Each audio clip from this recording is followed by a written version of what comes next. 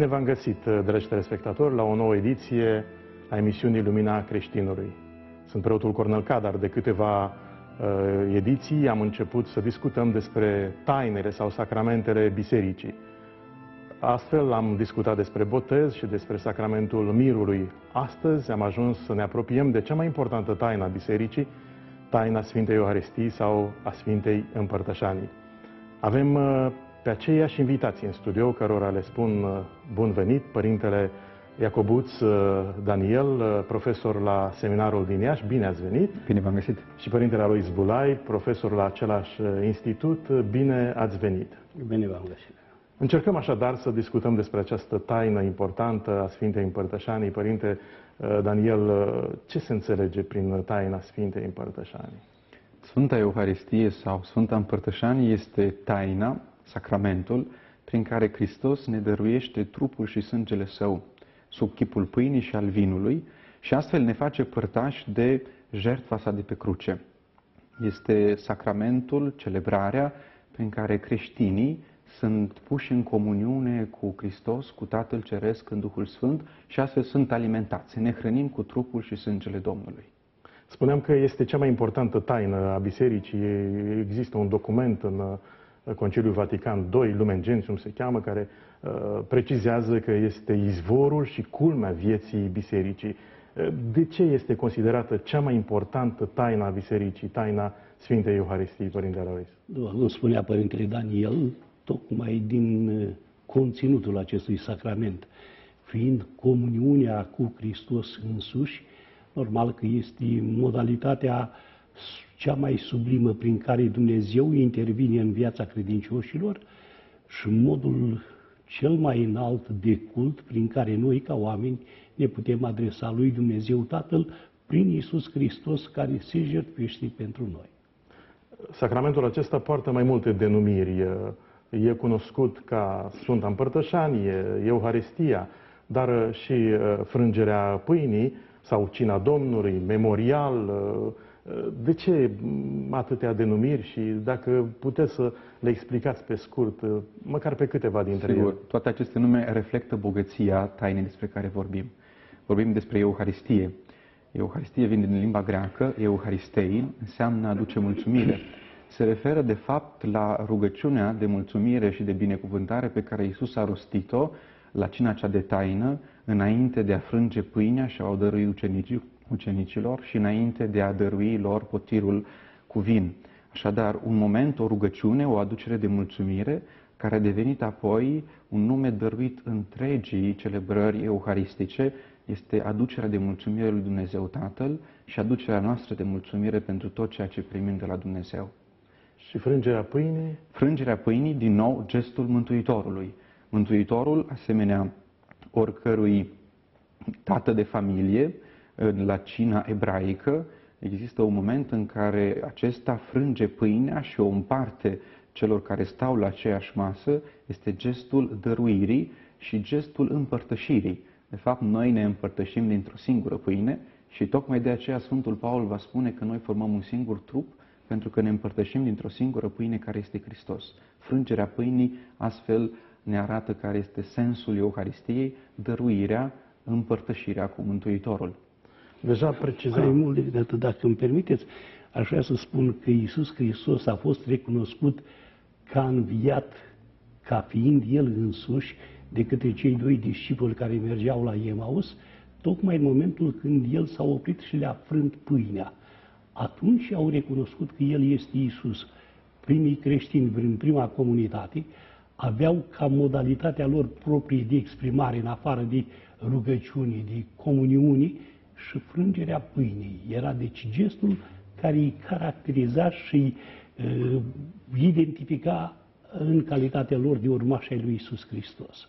Și este gestul care s-a făcut la cina cea de taină. Acest sacrament este legat de cina cea de taină. Sigur este. Vă rog să descrieți cum a avut loc această ultimă cină a lui Isus nu intrăm în detalii, dar cina aceasta e coincide cu cina pascală, care era celebrată de evrei în fiecare an ca memorial al eliberării din țara sclaviei și intrarea în țara făgăduinței. Cina era complicată, nu ne oprim asupra întregului ritual. Erau mai multe momente. Primul gest era acela al binecuvântării pâinii ca rod al lui Dumnezeu, semn al binecuvântării pe care Domnul o acorda poporului. În cursul desfășurării acestei cine se binecuvântau mai multe cupe cu vin. Înainte de ultima cupă cu vin, cea de-a treia, Iisus se oprește și spune, acesta este sângele meu. Deci, la început, pâinea se identifică cu trupul lui Iisus Hristos dat pentru voi, iar binecuvântarea potirului, Iisus o identifică cu sângele meu vărsat pentru voi și pentru mulți spre iertarea păcatelor.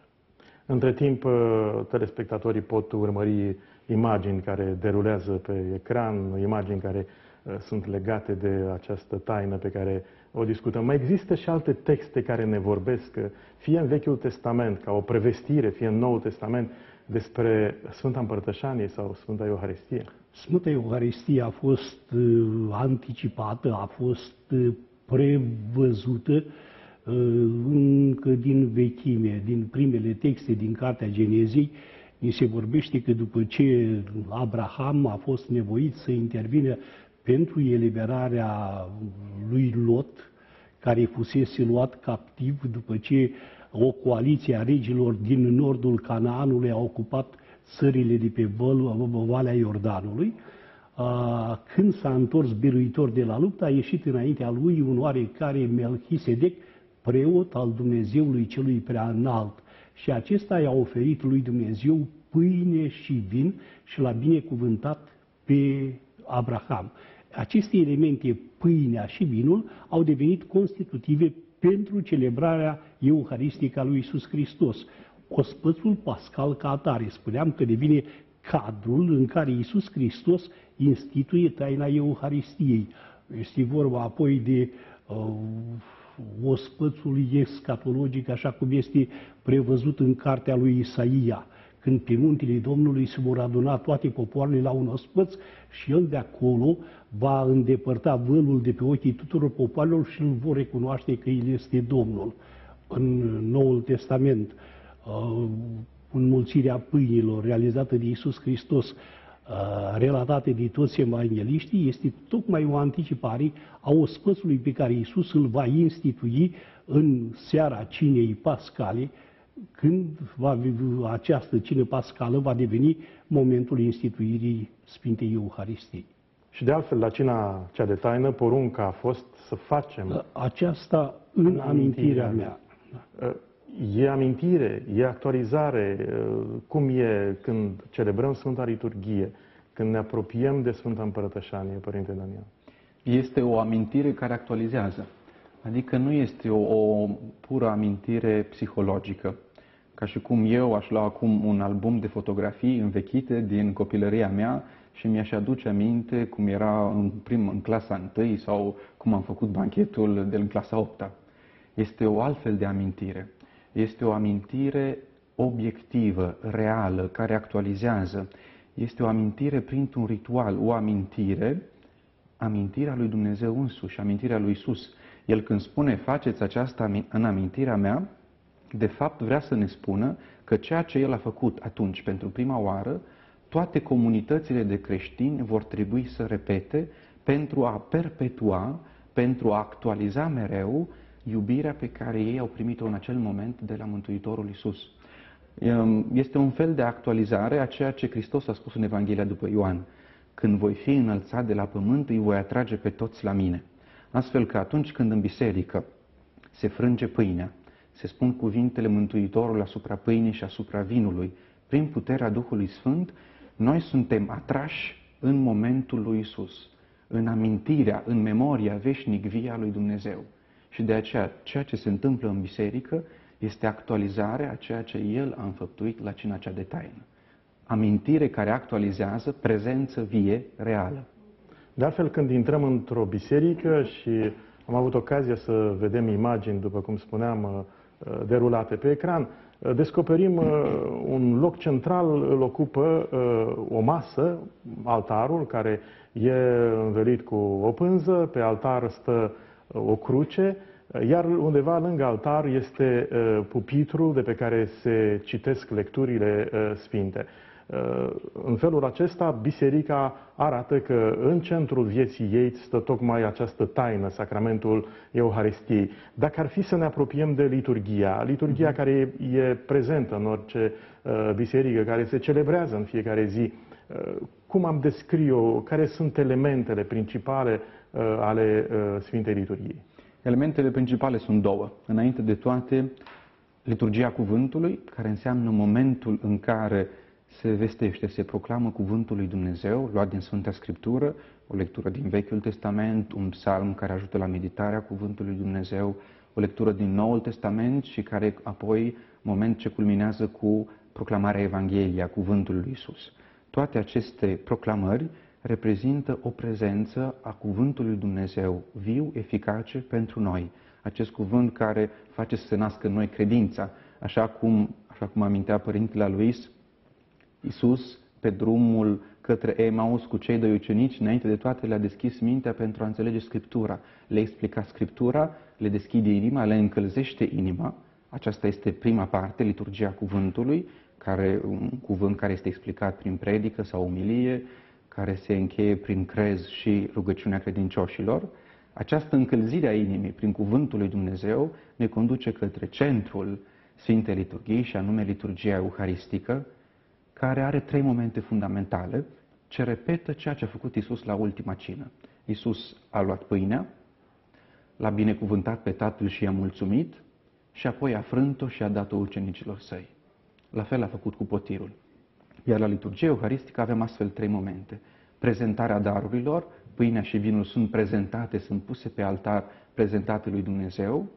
Apoi avem rugăciunea de mulțumire și de binecuvântare, rugăciunea euharistică, prin care acele daruri sunt transformate prin acțiunea Duhului Sfânt și a cuvintelor lui Isus în trupul și sângele Domnului. Și apoi al treilea moment, momentul împărtășaniei, când se dăruiește credincioșilor acest trup preasfânt și sângele său prețios. Fiindcă vorbeam de biserică, mai descoperim un alt loc uh, care ne atrage uh, într-un fel atenția printr-o lumină roșie, uh, tabernacolul. Ce este cu tabernacolul, Părinte? Tabernacolul este un loc central în biserică în care se păstrează ostia sfântă pentru a fi dusă mai apoi bolnavilor, sau celor care nu au putut să ia parte la momentul comuniunii, la momentul împărtășaniei. Reflectând asupra realității celui care rămâne prezent în tabernacol, Biserica a dezvoltat în timp cultul către Sfânta Împărtășanie. Cult care se manifestă înainte de toate prin adorație, adorația celui care este prezent acolo, adorația lui Dumnezeu prezent în persoana lui Isus Hristos, sub chipul pâinii, adorație care uneori se încheie cu binecuvântarea euharistică și apoi o altă formă de cult, de cinstire a celui care este prezent în Sfânta Taină, este procesiunea uh, tocmai în semn de adorație și de preamărire a lui Hristos prezent în mijlocul nostru.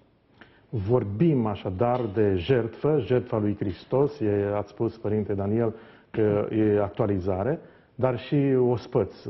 E o invitație de a participa la masa sfântă, de o invitație făcută credincioșilor de a se împărtăși.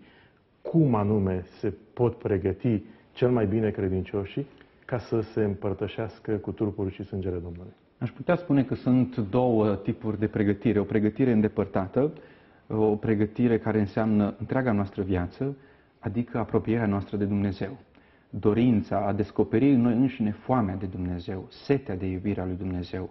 Pentru că la Sfânta Liturghie ni se dăruiește hrana cuvântului și hrana euharistică, iar noi trebuie să descoperim în noi foamea după această hrană. E vorba despre o viață interioară, o viață hrănită de rugăciune, o viață hrănită de lectura Evangheliei, o viață condusă după porunca iubirii lui Dumnezeu dar ar fi și o pregătire mai apropiată față de Sfânta Liturghie.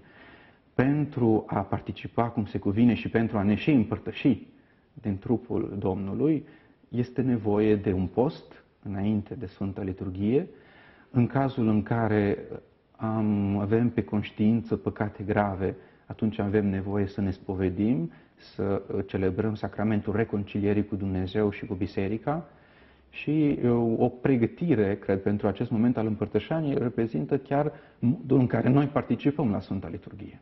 Adică atenția, participarea activă la tot ceea ce se întâmplă atunci în biserică, la toate cuvintele pe care le ascultăm, la cântecele pe care noi le înălțăm către Dumnezeu. Există, Părinte Alois, un text în uh, scrisoarea 1 către Corinteni, capitolul 11, a Sfântului Apostol Pavel sau Paul, care, în care Apostolul spune că să se cerceteze fiecare pe sine însuși și așa să se apropie uh, de pâine și de potir. Cum ați explicat textul acesta? Este exact ce spunea Părintele Daniel mai înainte.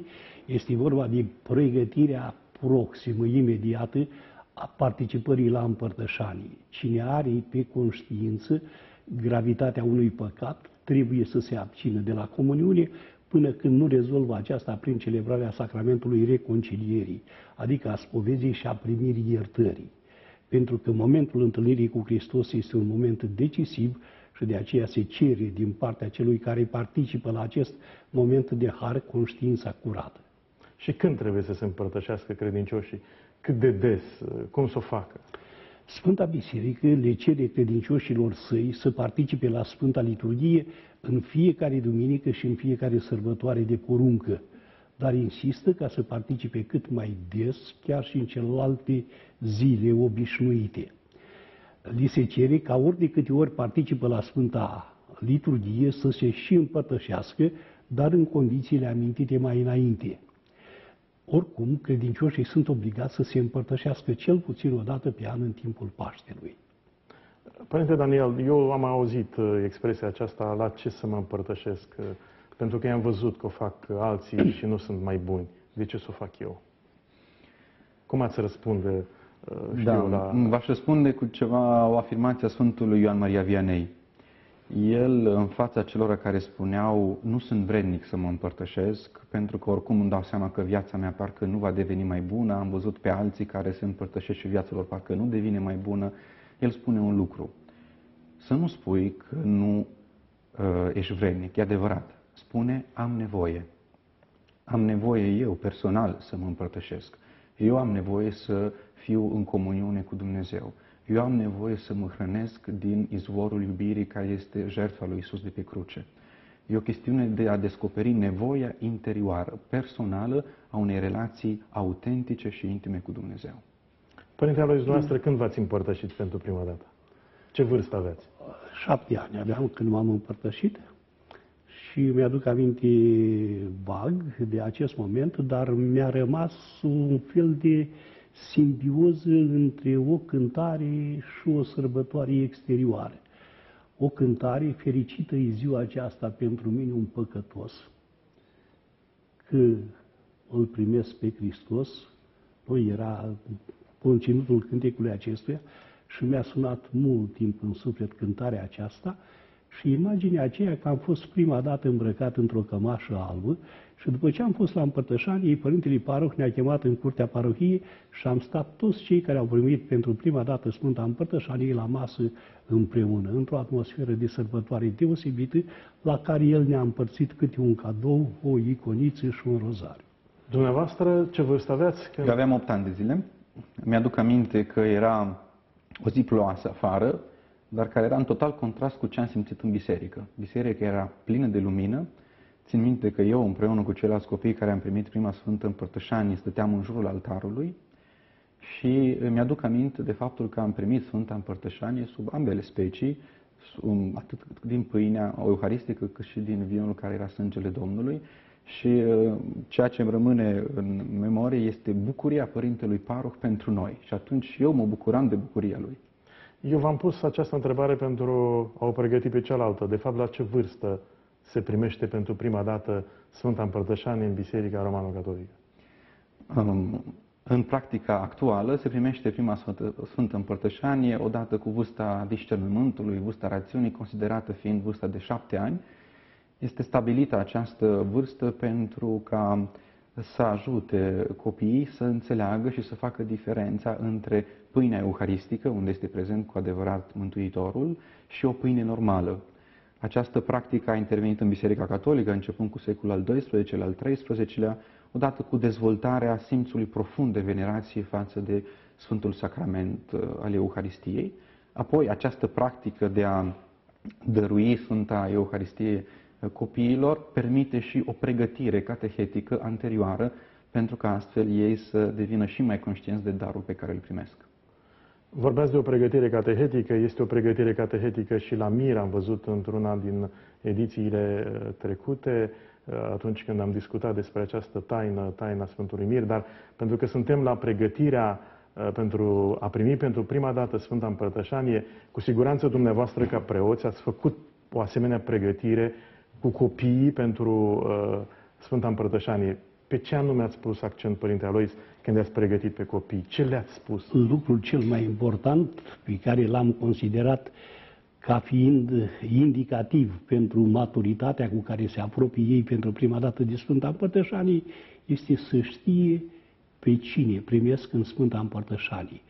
Când copilul a ajuns să înțeleagă pe cine primește și cine este cel care se dăruiește în Sfânta Împărtășanie, atunci toate celelalte lucruri vin și încoronează, împodobesc această realitate. Dar lucrul esențial este acela cine este cel care vine și se dăruiește în Sfânta Împărtășanie.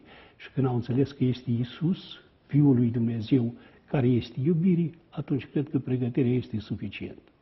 Așadar, de subliniat că în Biserica Romano-Catolică cei care primesc, uh, care vor să se împărtășească și o fac pentru prima dată, trebuie să urmeze o, o pregătire, pregătire, sigur, care în sens mai larg vorbește despre toate adevărurile de credință, se referă la toată realitatea credinței în totalitate ei, care ajunge la momentul maxim, cum spuneam, izvorul și culmea întregii vieți, care este Sfânta Euharistie. Pregătire care este aprofundată apoi la uh, mir. Uh, care ar fi efectele, binefacerile uh, primirii Sfintei Împărtășanii, Părinte Daniel? Înainte de toate este aprofundarea comuniunii noastre cu Isus, cu Mântuitorul, comuniunea cu Dumnezeu Tatăl prin uh, primirea persoanei însăși a Mântuitorului, a lui Isus Hristos. Este o aprofundare a vieții, a vieții dumnezeiești pe care am primit-o în momentul botezului. În același timp, a ne împărtăși înseamnă a primi o putere ca divină, dumnezeiască, care ne îndepărtează de păcat. Uh, Sfânta Împărtășanie șterge păcatele lesne iertătoare, ne ajută să ne deprindem, să ne desprindem mai mult de uh, patimile sau viciile pe care le avem. Este așadar un remediu împotriva păcatului sau a tendinței noastre de a ne închide mereu în egoism. Cu al, în altă privință este o binefacere sau un rod al Sfintei Euharistii este comuniunea dintre creștini, dintre aceia care se împărtășesc cu același trup și același sânge al lui Hristos. Cu toții ne împărtășim cu același Hristos, de aceea formăm un singur trup și este vorba despre fraternitatea, comuniunea dintre creștini. În același timp, când vorbim de Sfânta Împărtășanie, spunem că este o chezășie, o garanție a slavei viitoare, a gloriei care ne așteaptă cum am explicat mai pe înțelesul tuturor, Părinte Alois, lucrul acesta? S-a insistat mai înainte asupra deosebirii dintre amintirea psihologică și amintirea care prezențializează realitatea care este uh, celebrată. Uh, lipsea un ultim element al uh, a ceea ce se numește memorial în Sfânta Scriptură, adică un eveniment salvific este participat de fiecare generație care ia parte la celebrarea acelui eveniment și în același timp o anticipare, o pregustare a împlinirii definitive a acestui eveniment atunci când Dumnezeu va fi totul în toți. În felul acesta, împărtășirea actuală cu trupul și sângele lui Isus Hristos este o garanție că atunci când Hristos împreună cu Tatăl va ajunge biruitor asupra tuturor realităților, noi vom face parte din această realitate. Mulți vorbesc de o liturghie de după liturghie, cumva subliniind că există uh, legătură între liturghie și viața noastră. Cum ați puncta această legătură? Legătura aceasta este dată de ultimile cuvinte de la Sfânta Liturghie, Preotul spune credincioșilor, liturgia s-a sfârșit, mergeți în pace. Este o trimitere, o autentică trimitere în misiune. Liturgia continuă într-adevăr după liturgie, pentru că dacă Sfânta Liturghie este oferirea de sine însuși a Mântuitorului, Iisus ni se oferă din iubire, se oferă Tatălui și nouă, a ne împărtăși cu trupul și sângele Său înseamnă că și noi suntem chemați la o oferire de sine. Iar liturgia noastră, în viața de fiecare zi, ori misiunea noastră, înseamnă a pune în practică această oferire de sine, din iubire, a ne oferi celorlalți, a face ca viața noastră să fie o pâine care se frânge și se dăruiește cu ajutorul Harului Dumnezeu, cu siguranță, nu numai cu puterile noastre, dar susținuți de El, de puterea Duhului Sfânt. Ne apropiem de finalul acestei emisiuni. Părinte Alois, uh, cu siguranță înainte de a merge la seminar, uh, mergeați la Sfânta Liturghie, o făceați cât de des. Uh, și în același timp, ce anume vă făcea să mergeți la liturghie? Întreb asta pentru a găsi motivații noi, cei de astăzi, de ce să mergem la liturghie? De ce să o facem duminica? De ce să o facem în celelalte zile? Am avut șansa pentru care nu știu să-i mulțumesc lui Dumnezeu, să mă nasc într-o familie credincioasă, în care tatăl în special, Domnul să-l preamărească, a avut o capacitate pedagogică absolut unică. El de la început, de când era mici, ne-a învățat că nu este nimic care să poată compara cu Sfânta Liturghie, pentru că acolo este Domnul prezent. Și întotdeauna ne punea să alegem. Uite, este asta, se celebrează Sfânta Liturghie, se mai întâmplă și alte lucruri în timpul ăsta. Noi ce alegem? Și ne-am învățat de mici să alegem. Așa că eu niciodată nu am ales o altă realitate și mi-aduc aminte cel mai greu mi-a fost să renunț la meciurile de fotbal uh, care aveau loc în timp, să celebrau în același timp cu Sfânta Liturghie și deși făceam parte din echipa școlii și mai apoi din echipa comunii, de fiecare dată mergeam la liturghie în loc să merg la meciul de fotbal, pentru că am înțeles că cel mai important lucru era ăsta și cu ăsta nu se mai poate cumpăra nimic altceva. Așadar, liturgia în cele din urmă e o alegere. Stă în centrul vieții bisericii, este, are o importanță foarte mare pentru noi, pentru că, așa cum spunea și Părintele Daniel, ne dă putere să mergem înainte pe drumul acestei vieți. Vă mulțumesc mult pentru participarea dumneavoastră la această ediție a emisiunii Lumina Creștinului. Vă mulțumesc, Părinte Alois Bulai, profesor la Institutul Teologic, Părintele Daniel Iacobuț, profesor la același institut. Vă mulțumesc și dumneavoastră, dragi telespectatori, că ați rămas cu noi, iată, aproape o jumătate de oră.